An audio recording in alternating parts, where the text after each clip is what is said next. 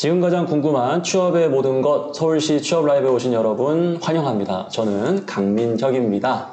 일단 제 옆에 어, 계신 분들과 인사부터 나눠볼 텐데요. 안녕하세요. 인사와 자기소개 먼저 부탁드리겠습니다. 네, 안녕하세요. 저는 지난 6월 PCN의 기획팀에 입사하게 된 정진아입니다. 반갑습니다.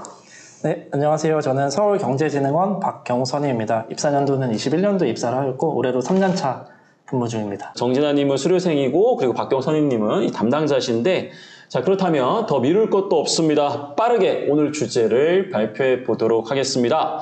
서울시와 함께하는 서울시 취업, 어, 취업 라이브 8월의 주제는 청취자 새싹 완전 정보입니다.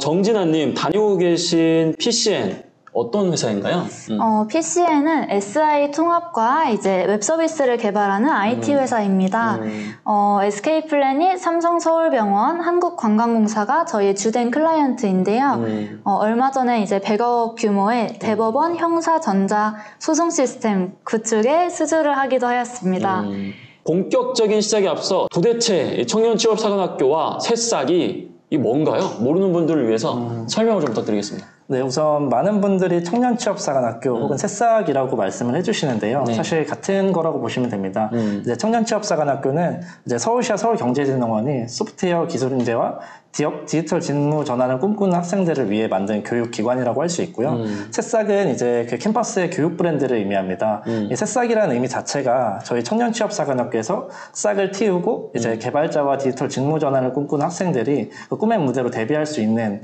그런 교육을 시켜준다는 의미를 포함하고 있습니다. 음, 좋습니다. 자, 그럼 올해는 어떻게 운영되고 있는지 소개 부탁드릴게요. 네, 새싹을 먼저 새싹의 교육부터 말씀을 드리면 음. 새싹은 크게 소프트웨어 개, 아, 개발자를 꿈꾸는 학생을 교육시키는 소프트웨어 과정과 음. 디지털 직무 전환을 꿈꾸는 학생들을 교육시키는 DT 과정으로 나눠져 있습니다. 음. 그래서 현재는 총 10개의 캠퍼스가 운영 중에 있고 이제 하반기에 5개의 캠퍼스가 추가로 오픈을 하는데요. 음. 이제 9월에는 종로, 10월에는 성동, 11월부터 12월까지는 동대문, 도봉, 성북 캠퍼스가 개관 예정입니다. 음. 그에 따라서 저희가 12월까지도 계속 교육생을 모집 중에 있으니까 음. 지금 시청하시는 분들이 많은 관심 가져주시면 좋을 음. 것 같습니다. 자, 그리고 여기 계신 정진아님이 바로 그 새싹에 네. 직접 참여한 분인데요. 지금 회사에 취업하게 된 것도 이 새싹 프로그램을 통해서 입사한 걸로 제가 이제 알고 있는데 어떤 과정을 거쳐서 지금의 회사에 입사하신 건지 어, 좀 소개 부탁드려도 될까요? 네, 저는 이제 작년 8월에 졸업을 하고 음. 내가 어떤 거를 해야지 가장 잘 할까, 뭐- 음. 뭘 해야지 좋아할까 이런 음. 고민들이 있었어요. 음, 그러다가 이제 새싹 취업사관학교에서 열리는 교육과정을 수강하게 되었고 음. 교육 수료 후에 이제 현재 회사에 입사하게 되었습니다. 자, 그렇게 6개월을 이제 보내신 거잖아요. 네, 그리고 네. 굉장히 많은 과제들을 해내셨을 것 같은데 그 중에 특별히 기억에 남는 과제가 있을까요? 어, 이제 과제들이 다 팀 프로젝트로 음. 진행이 되었는데요. 저는 마지막에 VR 전시관을 개발하는 프로젝트를 진행을 했어요. 음. 그래서 그게 제일 기억에 남는데 그 이유가 이제 네 명 다 비전공자였어요. 음. 그래서 네 명이 다 비전공자이기 때문에 저희는 뭔가 엄청난 게임을 딱 개발해야겠다 이거보다는 우리가 가진 그런 장점들을 살려서 뭔가 저희가 원하는 그런 결과물을 함께 해보자 음. 그런 마음으로 진행을 했던 것 같습니다. 그 실제로 비전공자들이 어느 정도로 그 본인 그 메타버스 과정이 좀 있었나요? 음, 제가 뭐 확실하게 모든 과를 음. 알지는 못하지만 반반 정도였습니다. 음, 음. 자, 그래도 앞에서 얘기했던 것처럼 이제 비전공자셨는데 정말로 비전공자가 6개월간 수업을 들어도 따라가는데 어려움이 좀 없었는지.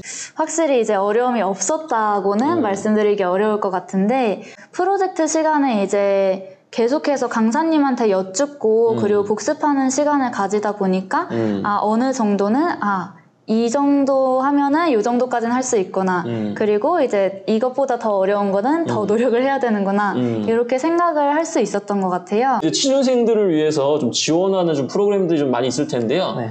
소개 한번 부탁드리겠습니다. 네, 청년 취업 사관학교잖아요. 음, 음. 그래서 취업 지원에 대한 많은 노력을 하고 있습니다. 잡코디가 항상 캠퍼스에 상주하면서 음. 이제 교육생분들이 취업 상담이나 자소서 컨설팅이 필요할 때는 네. 항상 이제 지원 어, 지원해드릴 수 있도록 저희가 노력을 음. 하고 있고요. 음. 그 밖에도 저희가 채용 설명회나 matching day, career coaching과 같이 음. 취업 지원과 관련된 프로그램들이 마련되어 있고 또 음. 사실 취업 하기 전까지 교육이 진행되잖아요. 네.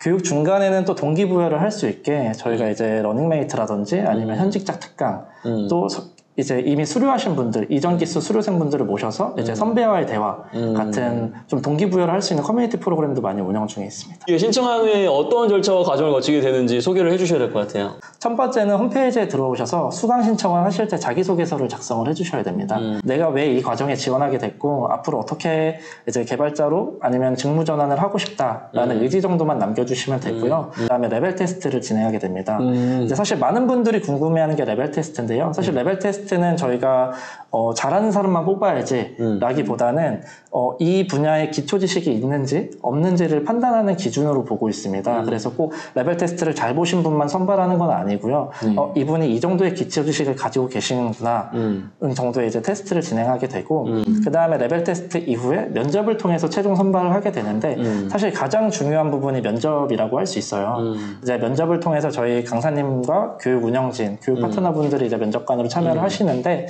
사실 가장 중요하게 보는 거는 취업에 대한 의지와 교육에 대한 의지입니다. 저희가 청년 취업사관 학교다 보니까 음. 얼마나 내가 학습에 대한 의지가 있고 음. 난 이렇게 취업하고 싶다. 음. 청취사를 통해서 취업을 꼭 시켜주세요. 취업하게 해주세요라고 하는 분들을 선발하고 있기 때문에 음. 취업에 대한 의지와 학습에 대한 의지만 있으시면은 언제든 지원이 가능하시고 선발이 되실 겁니다. 음. 지금까지 저는 강민혁이었고요. 서울경제진흥원의 SBA의 이 박경욱 선임님 그리고 주식회사 PCN 정진환님과 함께 하도록 하겠습니다. 여러분 안녕. 안녕.